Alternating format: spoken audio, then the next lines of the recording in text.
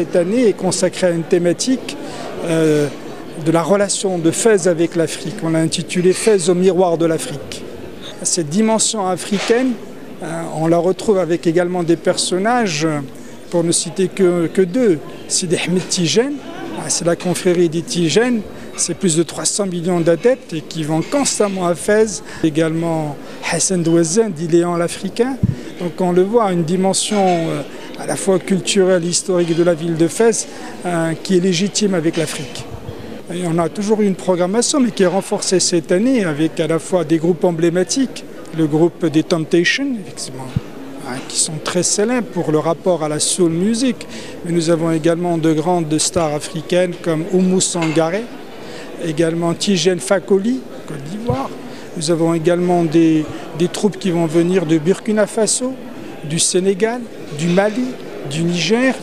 Côté tragique hein, des événements qui sont passés en début d'année en France, à Paris et aujourd'hui malheureusement à Tunis ne font que renforcer hein, la nécessité de procher ces valeurs, de les faire diffuser, de renforcer le dialogue et surtout, surtout la culture.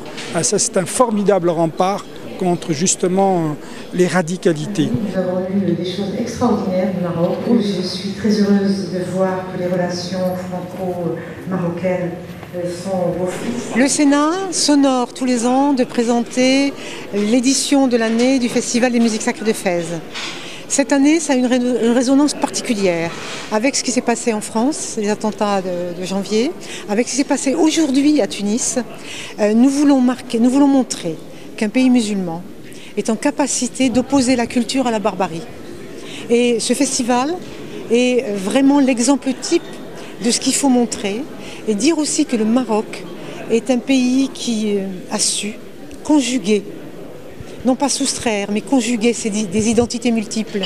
Il est amazir, il est berbère, il est andalou, il est juif, il est arabe, il est musulman. Et tout ça, c'est une leçon merveilleuse. Et le fait que le thème du festival soit l'Afrique, euh, je voudrais dire que ce continent merveilleux dont certains disent que les Africains ne sont pas rentrés dans l'histoire, vous voyez de qui je veux parler, eh bien, euh, pour moi, c'est le berceau de l'humanité et nous avons énormément de choses à apprendre des Africains, cette sagesse millénaire. Ils ont à nous, nous enseigner et nous devons aller vers eux avec beaucoup d'humilité. À travers les deux figures qui ont été déjà signalées par M.